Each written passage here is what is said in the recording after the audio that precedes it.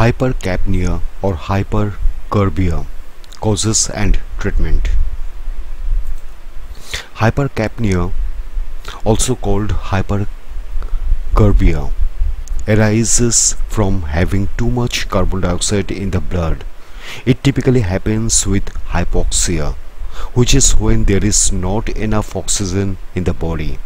It can lead to a headache dizziness and confusion Hypercapnia happens when breathing problems make it difficult to take in oxygen and breathe out carbon dioxide.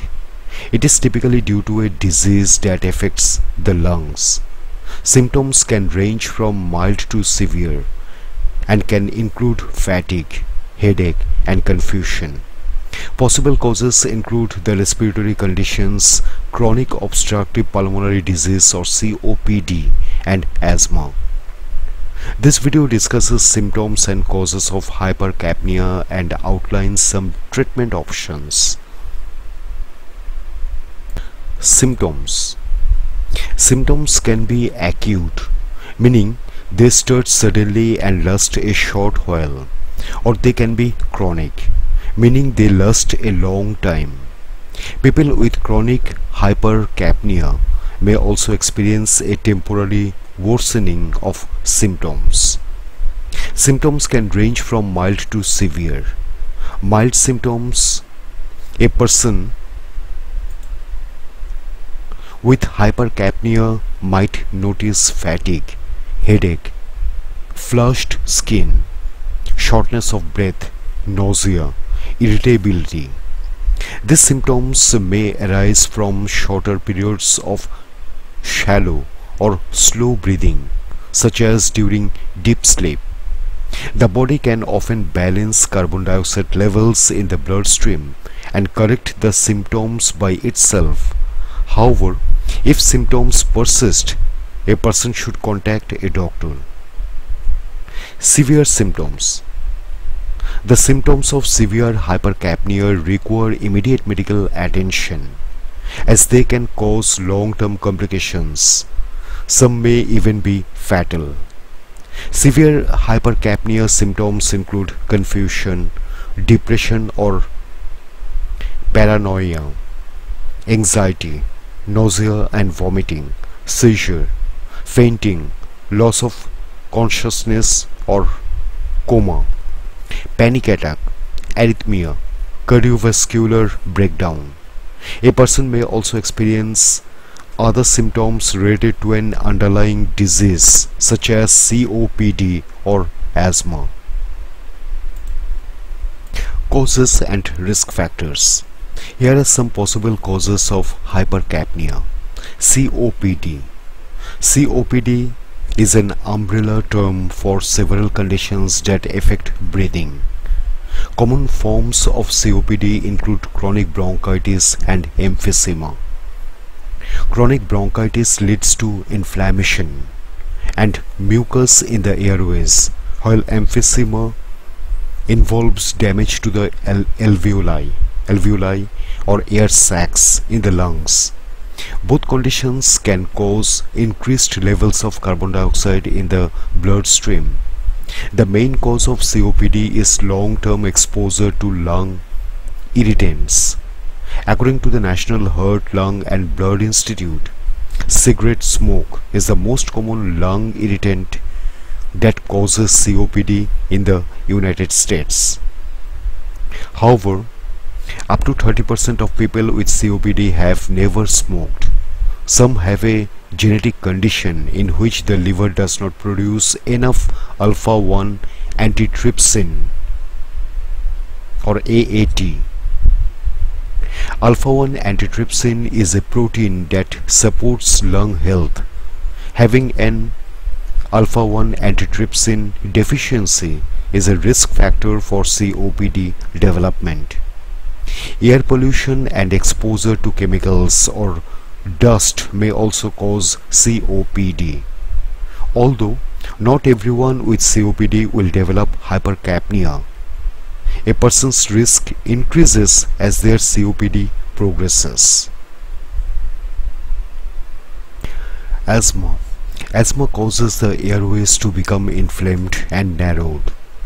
It may impact breathing and the levels of carbon dioxide in the body when it is unmanaged.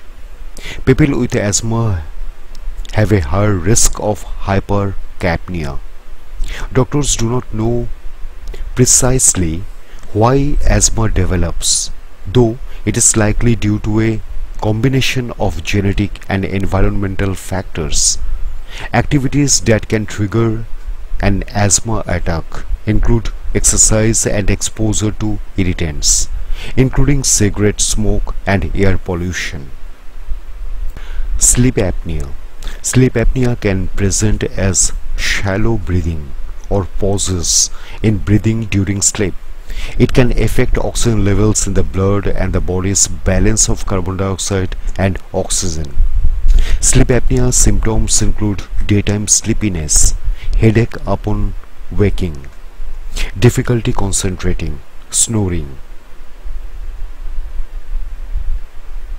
Nerve disorders and muscular problems. In some people, the nerves and muscles necessary for sufficient lung function may not work correctly. For example, muscular dystrophy can cause the muscles to weaken, eventually leading to breathing problems. Other disorders of the nervous or muscular systems that can contribute to hypercapnia include the following. Amyotrophic lateral sclerosis which affects nerve cells in the brain and spinal cord. Encephalitis, which is inflammation of the brain.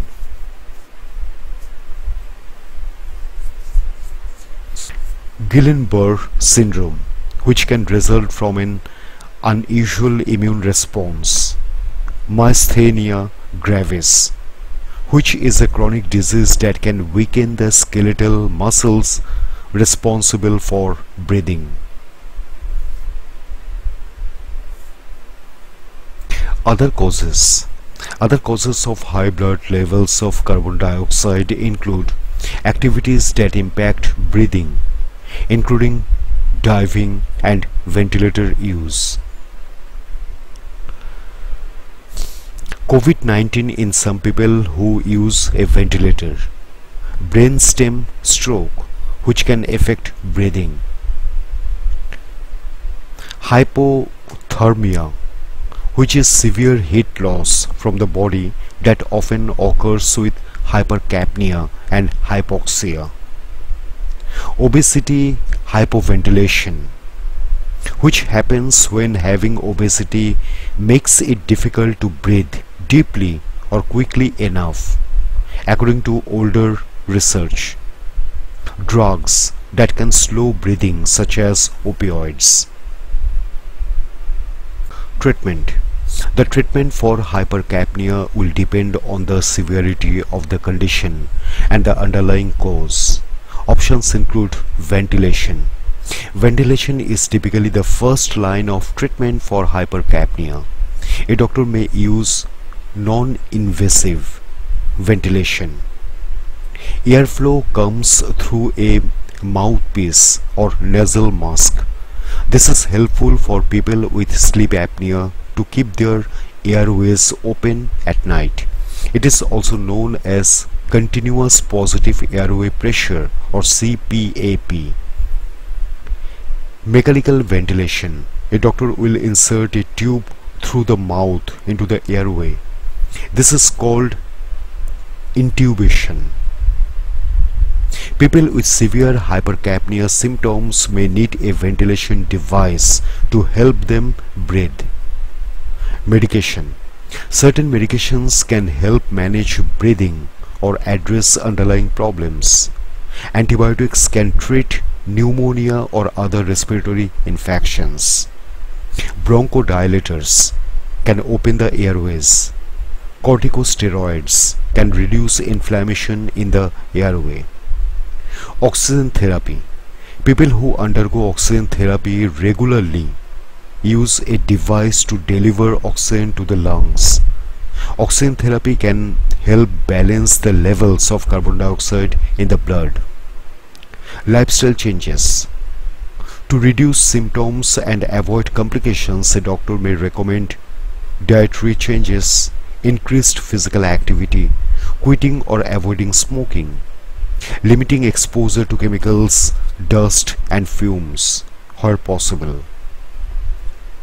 Surgery Some people with lung or airway damage need surgery. Lung volume reduction surgery can remove damaged tissue. With lung transplantation, a surgeon replaces a damaged lung with a healthy lung from a donor. Prevention Methods for helping to prevent hypercapnia include treating existing lung conditions, quitting or avoiding smoking, reaching or maintaining a moderate weight, following an exercise plan, avoiding exposure to toxic fumes and chemicals.